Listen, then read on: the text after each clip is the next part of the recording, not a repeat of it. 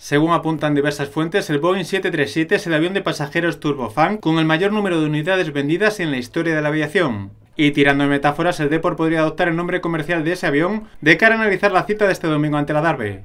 Porque siete son los jugadores del Deportivo Guadalajara, Darío, Tellechea, Cruz, Gerard, Ribeiro, Souza y Gallardo, con pasado en el conjunto madrileño. A ellos hay que añadir otros dos nombres, los de Gonzalo Onega y su segundo, Carlos Roldán.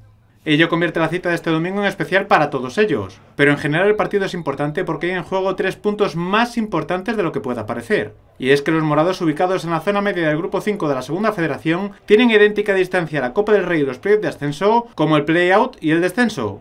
Y ahí aparece el otro 7 de nuestro particular Boeing 737 morado.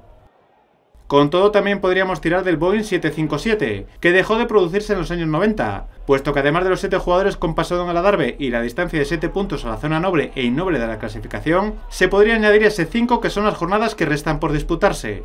O incluso podríamos hablar del Boeing 747, modelo que dejó de producirse el 31 de enero, puesto que cuatro de los últimos cinco rivales morados, Adarve, Atleti B, Estepone y Gimnástica Segoviana, son equipos que preceden a los de Gonzalo Nega en la tabla y que por tanto también sueñan con colarse en la fase de ascenso.